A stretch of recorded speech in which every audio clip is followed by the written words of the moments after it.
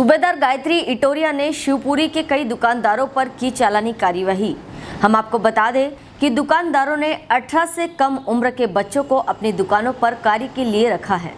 और वहीं दुकानदारों पर चालानी कार्यवाही करते हुए बच्चों को दुकानदारों से मुक्त कराया। और सूबेदार गायत्री एटारिया यही नहीं रुकी, बच्चों के माता पिता से मिली और उनको शिक्षा के लिए समझाया। और उन्होंने कहा, बच्चों को जब तक काम नहीं करना चाहिए, जब तक बच्चों को अच्छी शिक्षा प्राप्त नहीं हो जाती। इस मिशन में 24 नाबालिग बच्चों की प्राप्ति हुई है। उन्होंने मीडिया से चर्चा करते हुए बताया, यह अभियान लगातार जारी रहेगा। शिवपुरी से यूसुफ खान की रिपोर्ट। चार साल से काम कर रहे हो हैं वेरी गुड